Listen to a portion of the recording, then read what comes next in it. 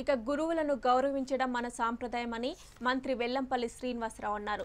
జ్యోతిష పండితులు శ్రీకాళహస్తి దేవస్థానం ఆస్థాన సిద్ధాంతి బ్రహ్మశ్రీ ములుగు రామలింగేశ్వర వరప్రసాద్కు తుమ్మలపల్లి కళాక్షేత్రంలో గురు సత్కారం జరిగింది. సీనియర్ పాత్రికేయులు పద్మశ్రీ తుర్లపాటి కుటుంబరావు అధ్యక్షతన వహించారు.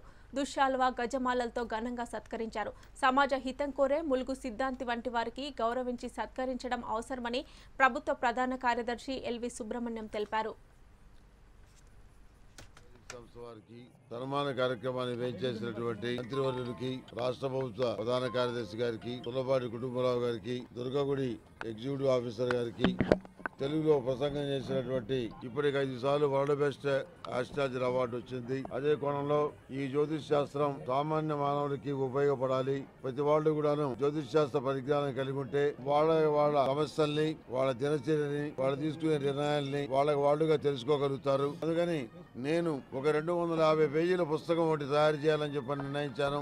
అందులో జ్యోతిష్ శాస్త్రానికి సంబంధించినటువంటి అవస్థమైన విషయాలు సామాన్య భాషలో ఉంటాయి. ఆ పుస్తకం చదువుకుంటే ప్రతి వాళ్ళు కూడాను వాళ్ళ జాతకం వాళ్ళు చూసుకోవచ్చు వాళ్ళ ఇంట్లో వాళ్ళ జాతకం చూడవచ్చు ఎవరి జాతకం చూడవచ్చు అందరికీ సులభంగా అర్థమయ్యే విధంగా ఒక చిన్న పుస్తకం రెండు వందల యాభై పేజీలు.